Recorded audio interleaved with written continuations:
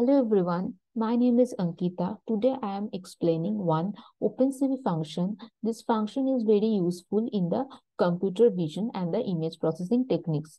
Here I am here I want to change my this color image to gray image.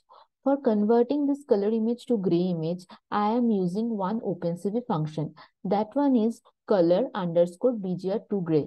So here is an example code. Using this code, you can change your color image to a gray image. So in this code basically contain four CV2 function, four OpenCV function. First one is cv2.imread. Using this function, you can read your image. After that, you have to use this function cv2.cvtcolor. Using this function, you can convert your image to any color space.